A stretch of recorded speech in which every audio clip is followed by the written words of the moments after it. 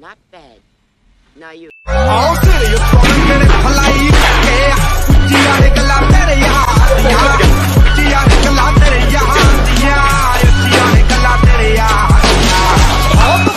पूरी ठोक ठोक रखदा डेंजर ते